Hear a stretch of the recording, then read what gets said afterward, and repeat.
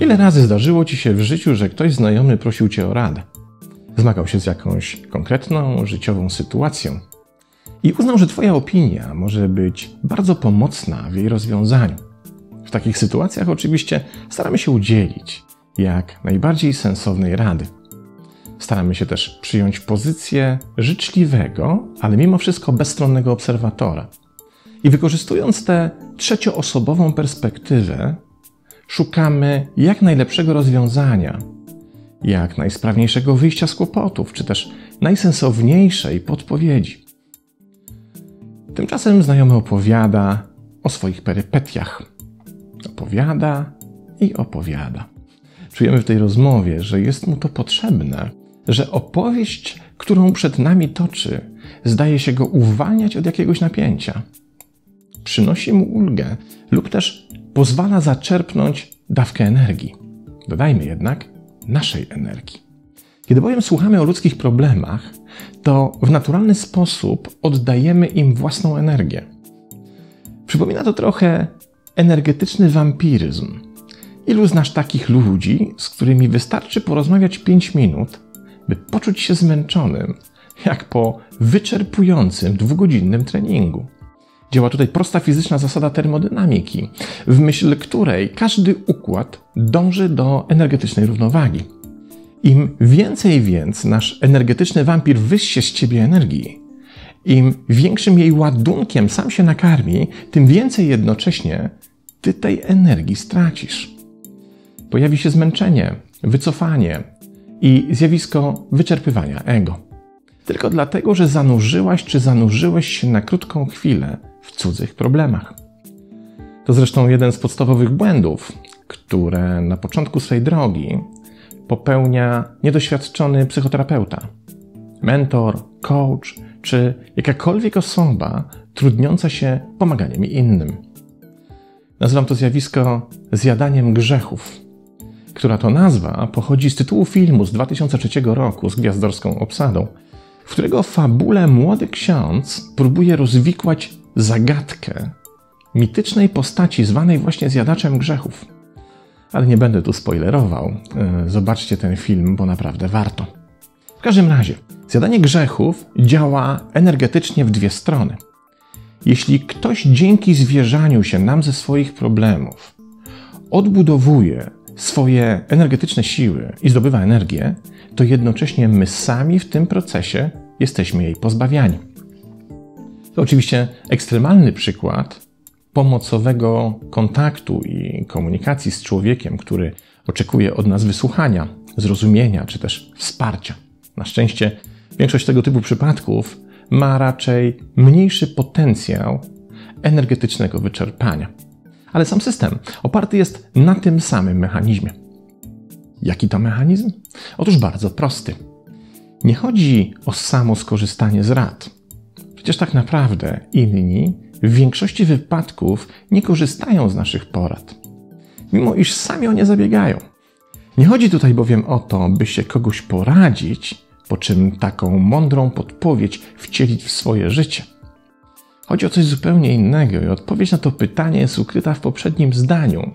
Zaś kluczowe słowa to nie poradzić i rada, ale czyjaś i w swoim. W tym systemie przecież rady są zawsze tego, który ich udziela, zaś życie tego, który tych rad słucha. Od wysłuchania rad do ich wdrożenia wiedzie jeszcze wyboista droga, na której trzeba pokonać własne ego. Poradzić sobie na przykład z brakiem motywacji, a często pożegnać z cieplutkim bezpieczeństwem i tak dalej i tym podobne. Ale najważniejsze jest to, że kiedy udzielamy komuś rady, w rzeczywistości tak naprawdę nie udzielamy jej tej osobie, ale sobie samym, wczuwając się w sytuację rozmówcy. Nie mówimy do tej osoby, mówimy do siebie, a ściślej do własnej wizji życia tej osoby, której doradzamy.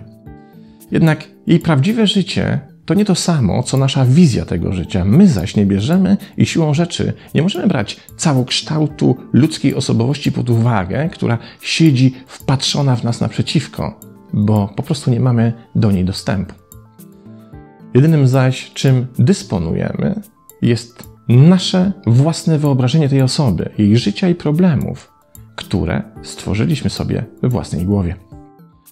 Więc w rzeczywistości udzielamy rad jedynie awatarowi tej osoby, wirtualnemu, wyobrażeniowemu tworowi, który stworzyliśmy i który dla nas jest reprezentacją tej osoby. Można to przyrównać do projektora i ekranu. To sytuacja, w której nie widząc samego projektora, widzimy jedynie obraz, który ten rzuca na białym płótnie lub też białej ścianie. I teraz, widząc ten obraz, możemy jedynie wnioskować o rodzaju urządzenia, którego wyświetla. Co więcej, sam obraz jest też niezwykle iluzoryczny, bo przecież wystarczy, że w sali projekcyjnej zmienimy natężenie światła, a na ekranie zmieni się paleta kolorów.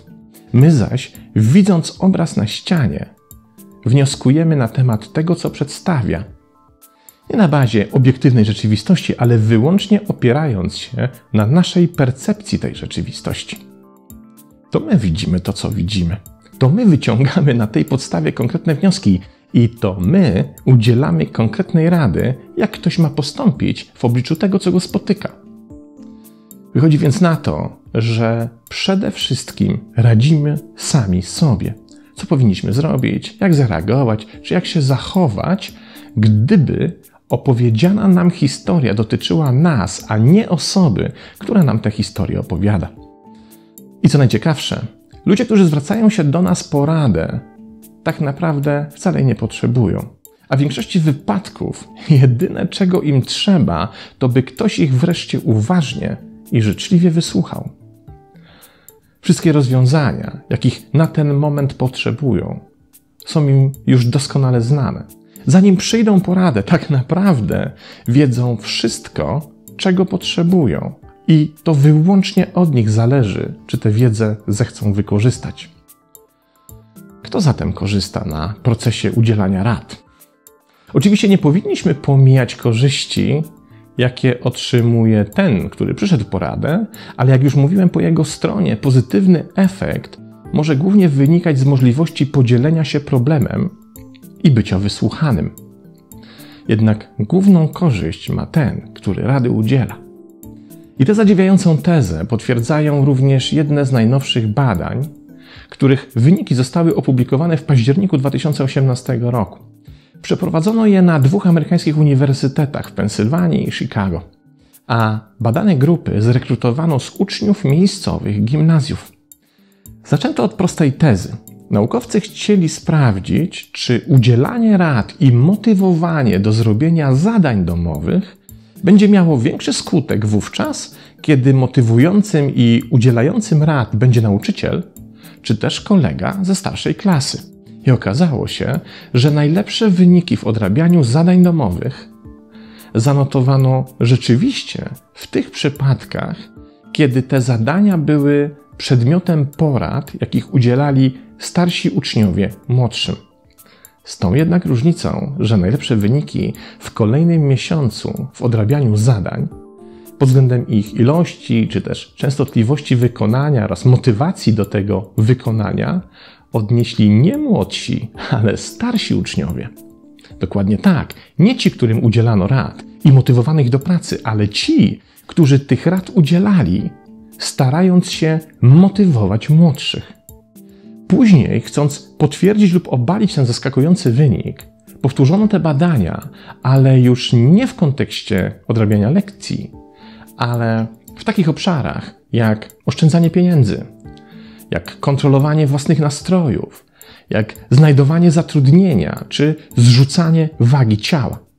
We wszystkich tych wypadkach dużo lepsze wyniki osiągali ci, którzy udzielali w powyższych obszarach rad, a nie ci, którym tych rad udzielano.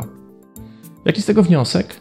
Otóż, ilekroć ktoś przychodzi do ciebie po radę, nie odrzucaj możliwości udzielenia mu jej, bo głównym beneficjentem Twoich porad będziesz Ty sam.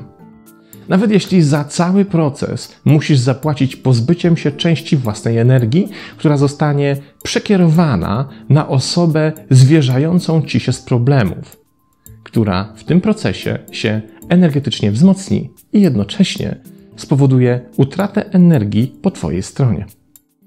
To sam mechanizm i tak będzie tego warty. Udzielając bowiem rad innym, tak naprawdę udzielamy ich sobie. Okazuje się, że ten proces jest dla nas jednocześnie jednym z najlepszych i najcenniejszych źródeł motywacji. Samego zjadania cudzych grzechów można się tak naprawdę oduczyć. I doświadczeni terapeuci czy inni people helperzy doskonale wiedzą, jak to zrobić, by niosąc efektywną pomoc drugiej osobie, jednocześnie nie pozbywać się cennych pokładów energii własnej. To kwestia techniki i odpowiednich narzędzi. Jednak nawet jeśli na początku tego nie potrafimy, to warto pozjadać cudze grzechy, by samemu wzrastać. Pozdrawiam.